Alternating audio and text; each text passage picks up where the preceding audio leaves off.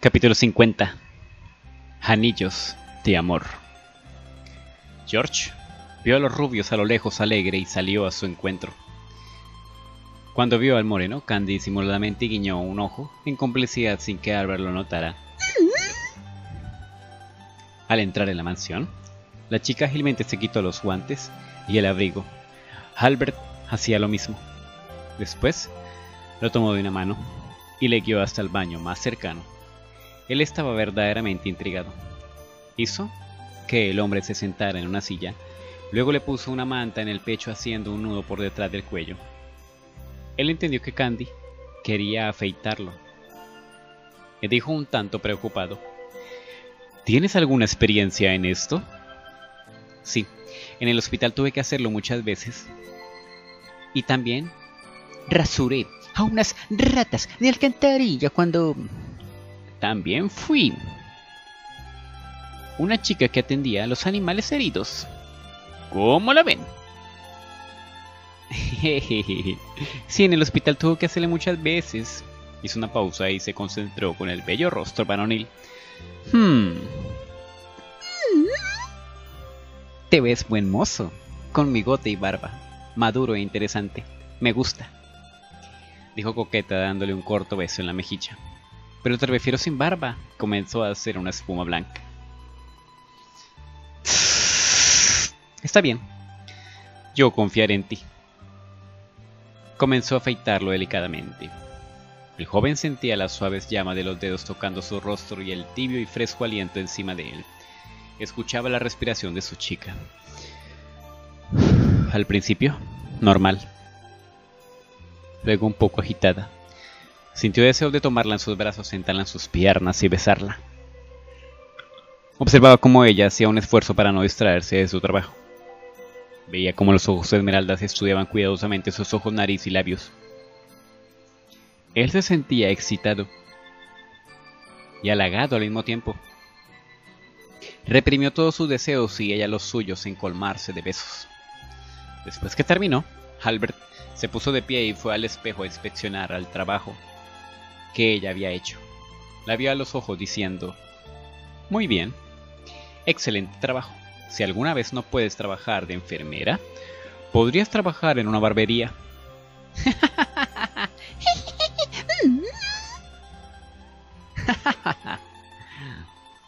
¿Acaso dudaste que podría hacerlo? Mejor no me contestes, añadió causando más carcajadas.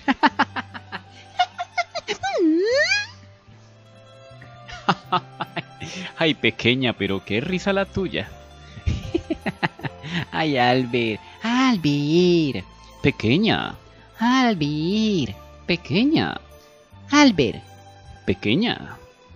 Albert, pequeña. ¿Acaso dudaste que podría hacerlo? No me contestes. Candy recordó el incidente en New York y quiso preguntarle. ¿Cómo está tu herida? Bien. No es nada serio. El doctor me dio medicina para evitar una infección. Y me vendó muy bien. ¿Te has tomado la medicina? Sí. ¿Te cambiaste las vendas? Estaba preocupada porque George dijo que Albert estaba despreocupado desde que regresó de New York.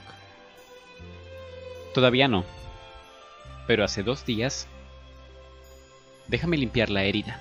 Candy fue a traer lo que necesitaba y lo sentó en una silla. Albert se sacó la camisa del pantalón y comenzó a desabotonarla.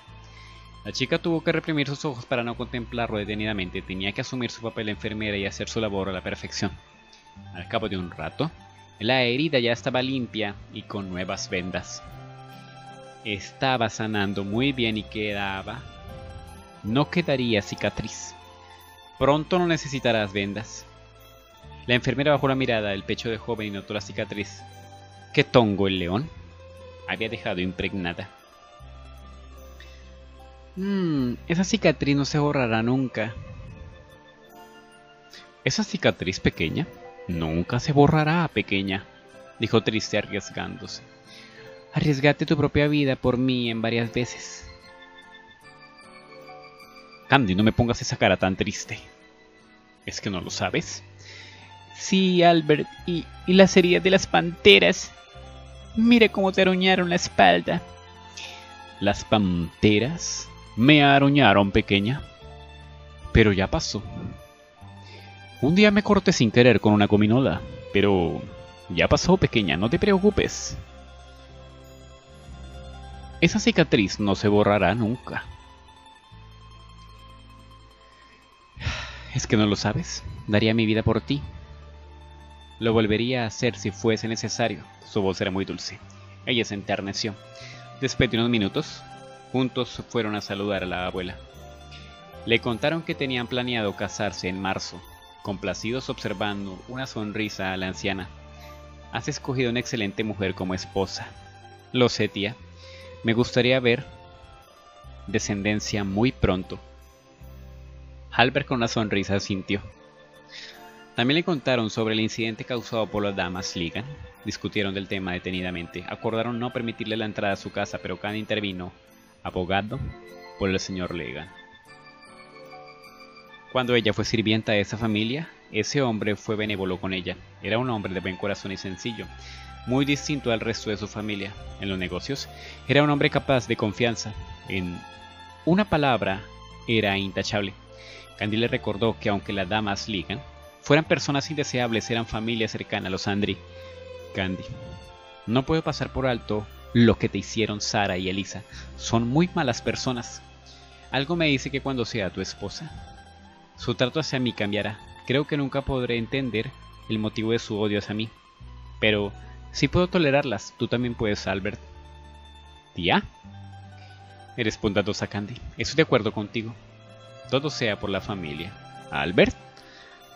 Trataremos con ellas solamente en ocasiones que sea necesario, no quiero que socialicemos con ellas. Las damas sintieron la decisión final. Después la pareja salió de un rato al jardín donde caminaron de la mano. Esta vez fue Candy quien abiertamente dijo que le gustaría tener cinco hijos o más. Quería llenar la casa de risas y alegría. Confiaba plenamente en Albert. Podía confiarle todo. Sabía que entendía a la perfección. Después de cenar juntos, Albert la llevó de regreso al hogar de Pony. Acordaron que viviría en la mansión después del anuncio de su compromiso. Halbert, quiero salir vestida de novia al hogar de Pony. Como tú quieras, pequeña. Ella regresará al hogar de Pony una semana antes de la boda y pasar sus últimos días de soltería ahí. Los días pasaban rápido. El anuncio formal de compromiso del señor William Albert Landry con la señora Candice White no se hizo esperar. La reunión fue pequeña, pero una gran cantidad de reporteros con sus cámaras fotográficas se hicieron presentes. La noticia salió por todos los periódicos locales, también en Chicago y New York.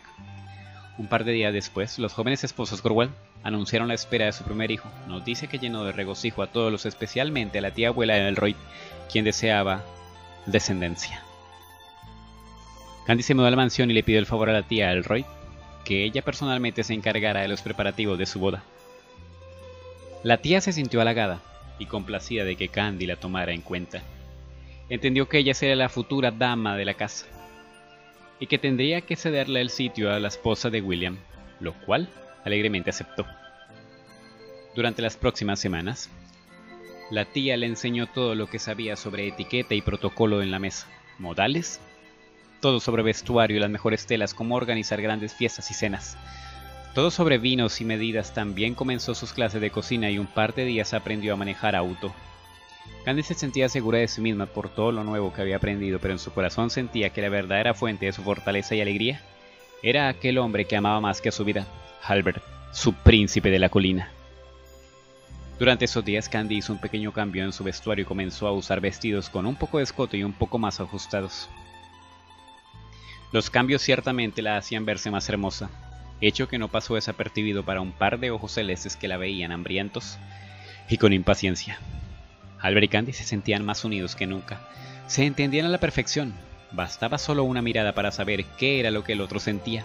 No era necesario decir nada, parecían dos almas gemelas que se comunicaban por telepatía. Se complementaban en todo, se gustaban, se entendían, se deseaban, una tarde de fin de semana después de la cena, los rubios estaban en el despacho revisando la lista de invitados que habían formado en su presencia de la boda. Hablaban sobre pequeños detalles y mientras lo hacían se veían con mucha coquetería y encanto en las miradas regalándose leves sonrisas. Ella lucía espectacular con un vestido rojo pegado al cuerpo y su cabello dorado suelto al natural. Él lucía radiante con un pantalón negro y camisa azul celeste al color de sus ojos. Era la hora de retirarse a descansar, y él, como de costumbre, la acompañó a su habitación. Antes de entrar a su cuarto, la rubia se puso de puntillas para darle un beso en la mejilla, pero Albert detuvo su intención. La veía penetrante a los ojos. Ella intrigada dijo, ¿Por qué me ves así? Él no le contestó. Lentamente se encimó sobre ella hasta que la acorraló contra la pared. Ella le tuvo miedo y trató de escaparse, pero él puso el brazo en la pared para detenerla. ¿A dónde vas? Su voz estaba enroquecida. A mi cuarto, dijo tímida. ¿Te acompaño? ¿Qué tienes? Nada, se inclinó besándola fervorosamente en el cuello pegado a su cuerpo al de ella. La rubia quedó desarmada en el instante que sintió el deseo del hombre rozarle brevemente su cuerpo. Instintivamente lo abrazó con fuerza y se besaron la boca con fervor. Toda la tarde te he deseado como un loco. Ya no puedo más, decía entre besos. Solo falta poco tiempo, hemos esperado tanto, podemos esperar unos días más. No puedo, decía acariciando el muslo. Albert, me vas a volver loca. Su cuerpo estaba totalmente vencido ante las caricias de las fuertes manos sobre ella. Candy se colgó del ancho cuello besando con pasión. Él la levantó en sus brazos, dio unos pasos y abrió la puerta del cuarto con ella en los brazos. Candy pensó que su vida estaba a punto de cambiar. La próxima vez que saliera por esa puerta sería una mujer hecha y derecha. La mujer de Albert. Eso estaba a punto de pasar. Albert, espera. No puedo. Ya eres mía. La puso suavemente sobre la cama, acostándola casi por completo sobre ella. Ambos querían entregarse por completo a su amor. Candy sentía el dolor en el vientre, su cuerpo reclamaba al de él. Sabía que Albert también sentía lo mismo, pero su mente y conciencia no le dejaban seguir. Albert, espera, debemos hacer las cosas bien, hablaba débil. No tiene nada de malo, nos amamos, dijo el labio de su novia.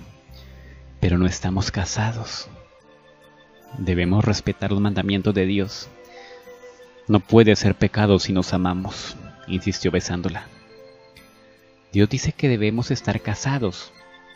Él es quien ordena, nosotros obedecemos. Ante tales palabras, Albert, con todo pesar, dejó de besarla. Recordó haber leído en la Biblia que el principio de la sabiduría es el temor a Dios.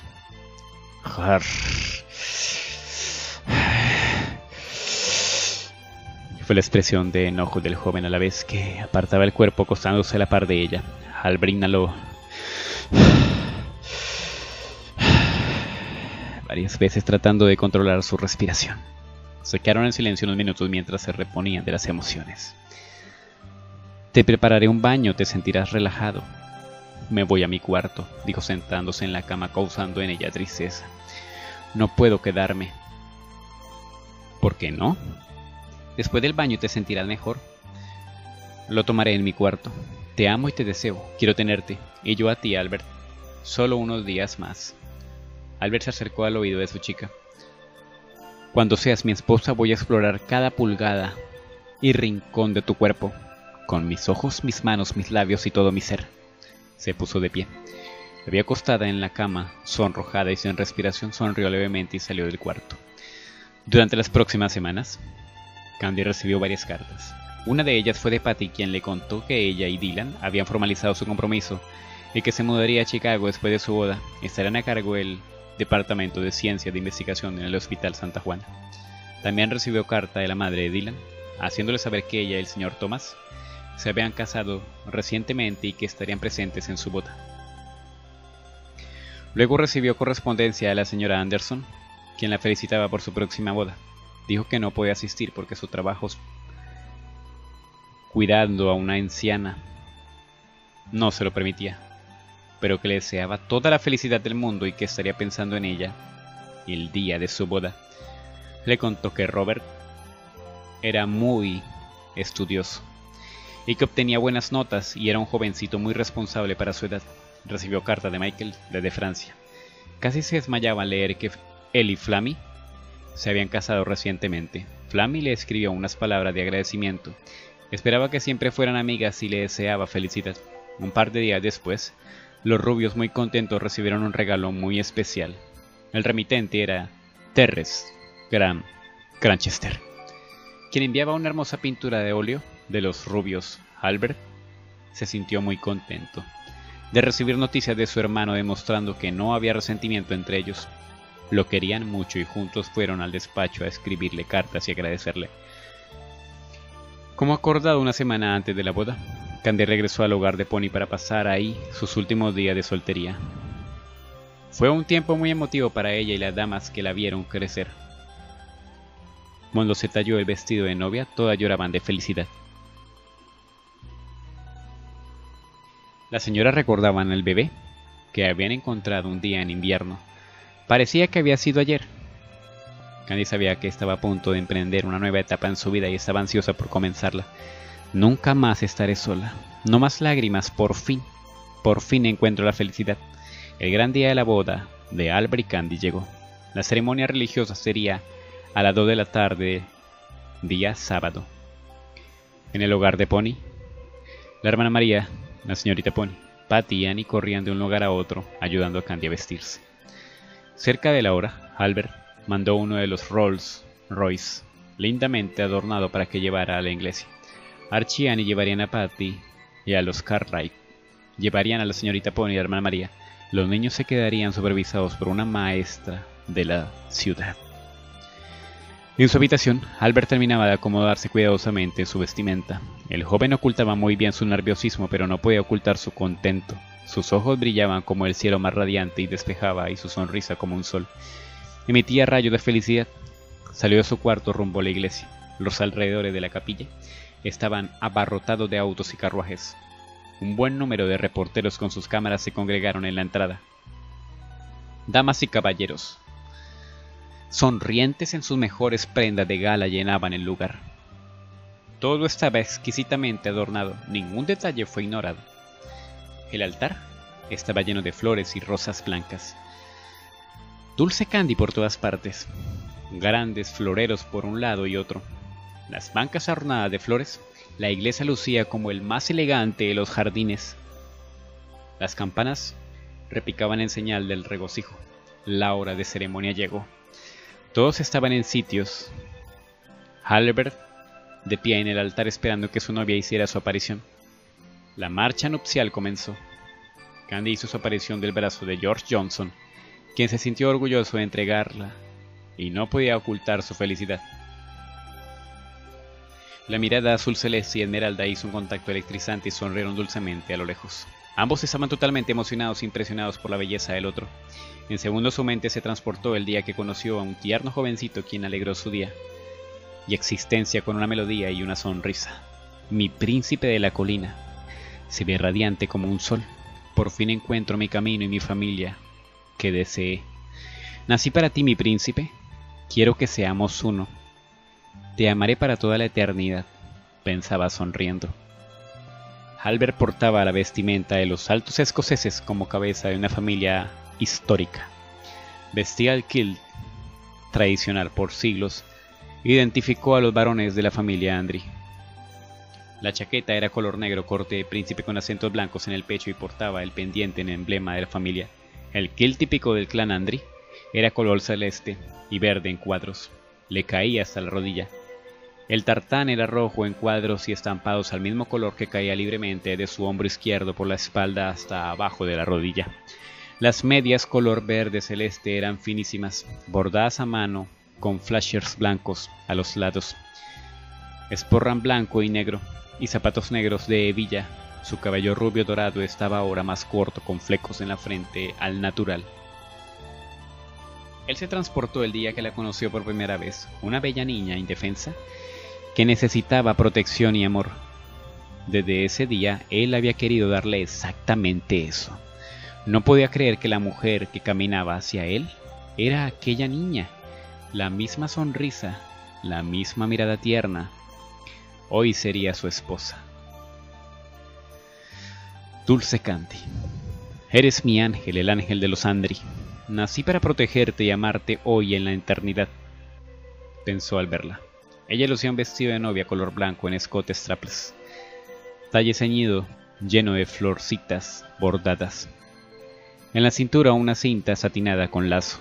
La falda era su tul de florcitas bordadas y salpicadas en línea. A. Su cabello recogido en moño bajó para dar paso libre al finísimo velo que le cubría el rostro y los hombros cayendo por la espalda, y el piso haciendo las veces de una larguísima cola de dos metros. En sus manos llevaba un precioso arreglo floral, dulce, candy. Usuaretes y gargantilla que fueran de la madre de Albert, y una pulsera que fuera de la hermana de él, todo en diamantes. Detrás de Candy venía Archie con Annie como padrino, detrás de ellos venía Dorothy como dama de honor. Mientras Candy caminaba hacia el altar entre los invitados, vio a Mary Jane, la directora de la escuela de enfermeras. La novia inclinó levemente la cabeza y le regaló una enorme sonrisa. La anciana entre lágrimas le respondió con una sonrisa. A la vez que se avanzaba hacia el altar por un instante sintió como si hubiera vivido un cuento de hadas. Recordó lo difícil que fue su niñez y el sufrimiento que experimentó en su adolescencia. Hoy, Dios se había acordado de ella. Era tan feliz y no podía dejar de agradecerle de todo corazón. Entre los invitados se encontraba Neil Ligan, y su padre, el joven, se veía cambiado y maduro, y muy sonriente parecía que él también había encontrado la felicidad. Grace Colville y sus padres estaban ahí. La bella dama sintió tristeza. Solo el tiempo borraría el amor que todavía sentía por aquel hombre que hoy unía su vida a otra. Era una mujer fuerte y trató de sonreír, un día cercano ella también encontraría un amor intenso, al igual que ella pareja. Cuando estaba a poco paso de su príncipe, recordó a sus queridos amigos, Anthony y Stir. Por un segundo sintió tristeza, pero en el instante supo que ellos estarían felices, que ella fuera feliz. George entregó a Candy. Albert ofreció su brazo a su novia. Juntos caminaron unos pasos hacia el altar principal. Hay un hombre del, del clero comenzó la ceremonia. Al transcurso de un rato, se hizo la lectura del libro de Proverbios capítulo 5 versículo 15 al 20, donde se habla de la fidelidad en la pareja. Llegó el momento del sermón. El clérigo abriendo la Santa Biblia dijo que su discurso estaría basado en el libro de Efesios capítulo 5 versículos 21 al 23 y del 21 al 33 donde hablaba de los deberes conyugales. Después el clérigo le preguntó a la pareja, delante de Dios y esta congregación, ¿afirman ustedes su deseo de entrar en este pacto matrimonial y compartir todas las alegrías y tristezas de esta nueva relación y todo lo que el futuro les depare? Los novios contestaron, sí. Inmediatamente, el clérigo hizo una oración de súplica y bendición a la pareja. A continuación llegó el momento en que los novios tenían que hacer sus juramentos.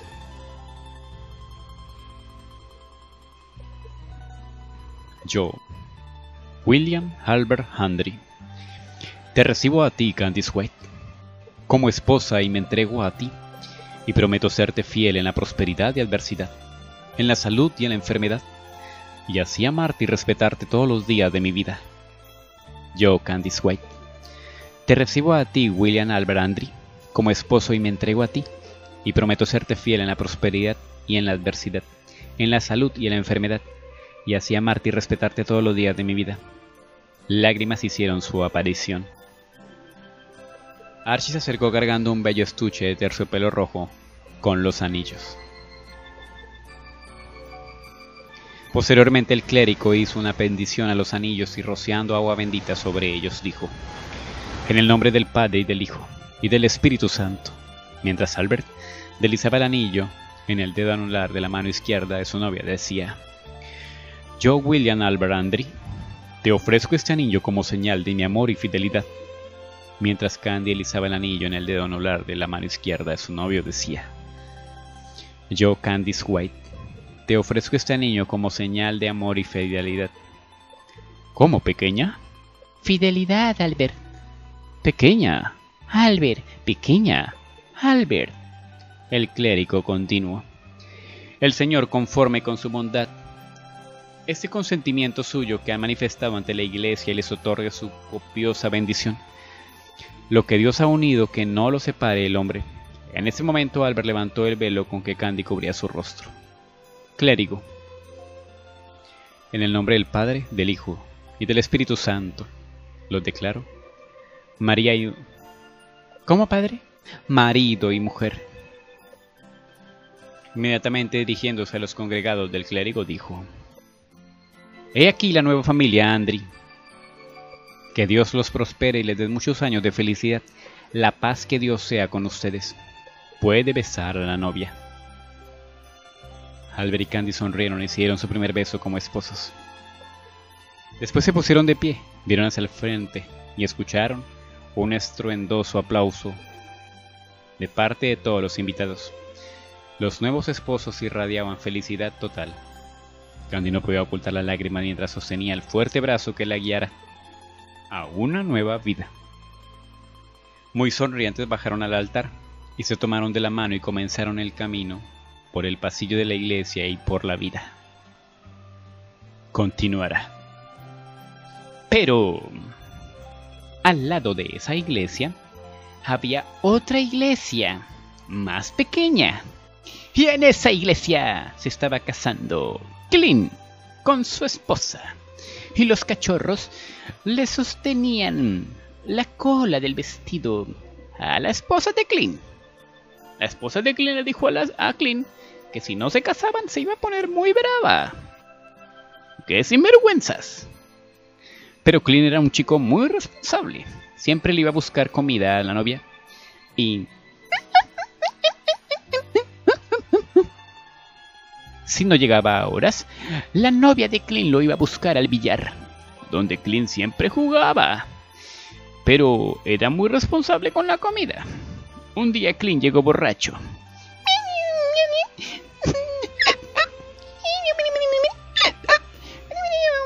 Y llegó la novia.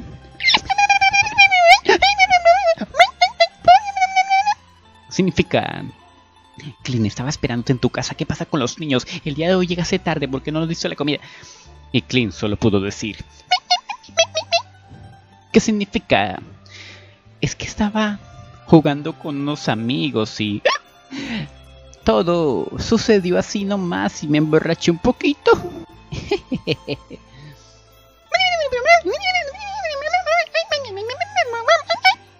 ¿Qué significa? Camine para la casa si no lo agarro a palo. Sin vergüenza. Entonces en esa iglesia se casó Candy con Albert y una más pequeñita para animales se casaron Clint y la novia y los cachorros eran muy felices. ¿Cómo la ven? Solamente mía, en la recta final.